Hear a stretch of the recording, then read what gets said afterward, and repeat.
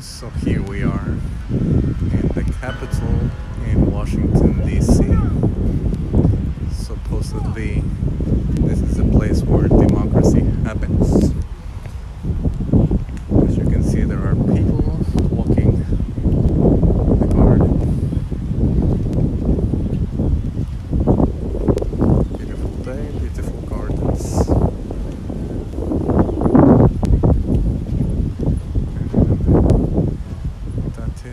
Capitol building.